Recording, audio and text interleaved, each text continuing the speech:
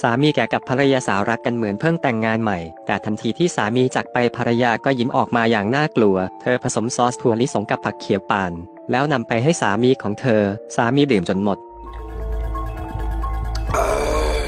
เธอถามสามีด้วยความสงสัยว่าถ้าคุณกินถั่วลิสงคุณจะเป็นโรคภูมิแพ้หรือไม่ แค่ไอช่วงแรก แล้วคอจะบวม เมื่อเขากำลังจะพูดต่อ เขาเริ่มรู้สึกคอแห้งหายใจลำบาก พุทธภรรยาแซงทำเป็นตกใจ เขาเร็บวิ่งหายาแต่ยาไม่เหลือสักเม็ด เป็นอะไรไป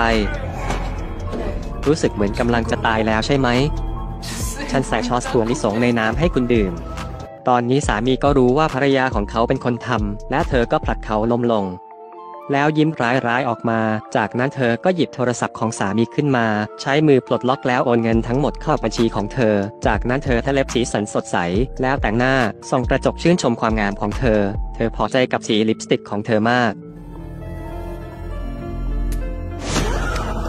แต่จู่ๆก็มีมือยื่นออกมาจากกระจก คุณเห็นฉันไหม คุณเป็นใคร คุณคือใคร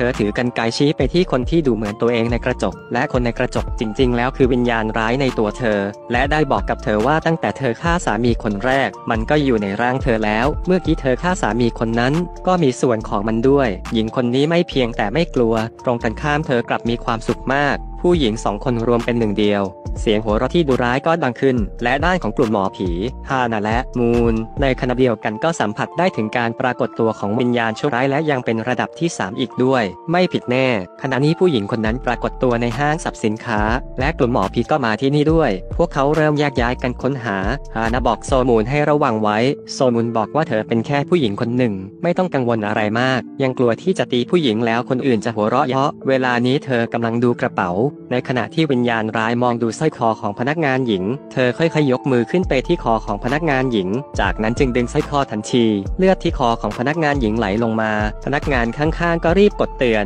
โซมุนบังเอิญผ่านผู้หญิงคนนั้นไป และรู้ว่าเป็นวิญญาณชั่วร้าย เขาจึงบอกทุกคนทันที หาหน้าบอกเขาอีกครั้งว่าอย่าลงมือโดยพลการ เมื่อผู้หญิงคนนั้นกำลังจะปิดลิฟต์จากไป โซมุนก็ปรากฏตัวขึ้นทันที เขาแซงทำเป็นว่าไม่มีอะไร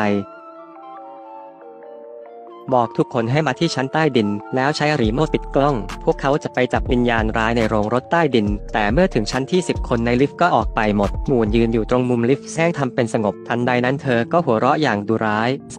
นายเป็นใคร อะไร เธอรู้ว่าโซมุนกำลังตามเธออยู่ ฉันเข้าตาเธอแล้วใช่ไหม ชอบพี่ไหม หลังจากนั้นเธอก็เดินไปหาโซมูนและเริ่มโจมตีโซมูน จากนั้นจับศีรษะของเขากระแทกราวในลิฟต์ มูนไม่มีโอกาสได้โต้กลับ เมื่อประตูลิฟต์เปิดออก ฮานาก็ปรากฏตัวขึ้นและเตะเธอเข้าไปข้างใน จากนั้นก็เริ่มโจมตีเธอ แต่วิญญาณร้ายระดับ 3 แข็งแกร่งมาก ฮานาไม่ได้เปรียบแต่อย่างใด พยายามอย่างเต็มที่แต่เธอ แต่วิญญาณชั่วร้ายเหมือนมันไม่ได้รับผลกระทบอะไรเลย หาหน้าล็อกคอของมันไว้นั่นจากด้านหลัง ในเวลานี้วิญญาณชั่วร้ายถอดรองเท้าส้นสูงและตีที่หัวของฮาน่า ฮานาถูกทุบตีจนเธอลุกขึ้นยืนไม่ไหว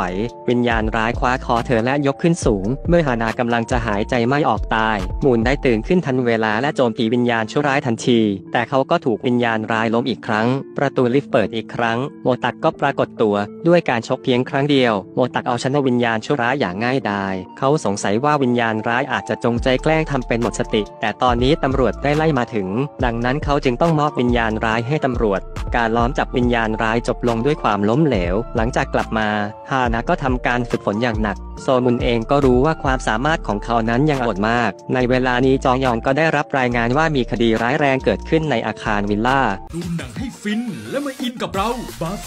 88 กับเว็บตรงไม่ผ่านเอเย่นต์มีให้เล่น ครบจบในที่เดียว พิชิตวงล้อเสี่ยงโชคในทุกวันยอดฝาก 100 ลุ้นกล่องสุ่มหนึ่งครั้งต่อวัน และแค่เพียงฝาก 300 บาท ก็มีสิทธิ์เปิดไพ่ลุ้นล้าน ฝากถอนระบบออโต้ฝากแรกของวันรับโบนัส 10%สนใจแอดมาได้เลยที่แอดบาโฟ88มีแอดนำหน้าด้วยนะ พวกเขาพาคนไปที่เกิดเหตุทันที ชายชราคนหนึ่งถูกมัดด้วยเทปบนเก้าอี้ อวัยวะภายในถูกล้วงออกทั้งหมด เมื่อผู้ช่วยเปิดตู้ไว้ข้างๆ เขาตกใจกับสิ่งที่อยู่ข้างใน